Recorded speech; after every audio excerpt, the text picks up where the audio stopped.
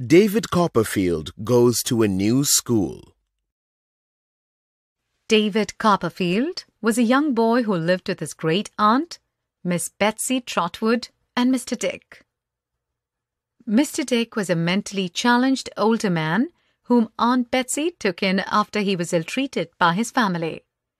They all lived in a cottage in a place called Dover, which was about 70 miles away from London. Miss Betsy sent David to a school named after its headmaster, Dr. Strong. He was a truly learned man who loved learning. He never beat his boys and always treated them kindly and justly. Dr. Strong's school was located in a place called Canterbury. On David's first day of school, Dr. Strong led David into the schoolroom. Dr. Strong introduced David to the class. The head boy stepped forward and welcomed David in a friendly way and showed him his desk. In Canterbury, David rented a room with Miss Betsy's business manager, Mr. Wickfield. Mr. Wickfield had a lovely daughter named Agnes.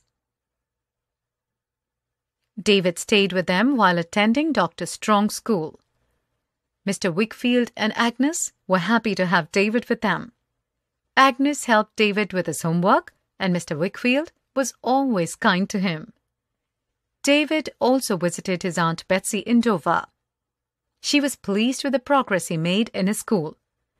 Every Wednesday, David had a half holiday. During these days, Mr. Dick came to visit David in Canterbury. All the boys loved Mr. Dick. On windy days, Mr. Dick and the boys went to a hill nearby where they all flew his kite. Mr. Dick was very clever with his hands. He could cut apples and potatoes into the strangest shapes. He was able to make boats and hats out of paper.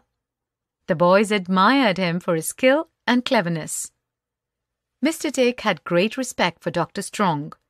He always took his hat off when Dr. Strong spoke to him.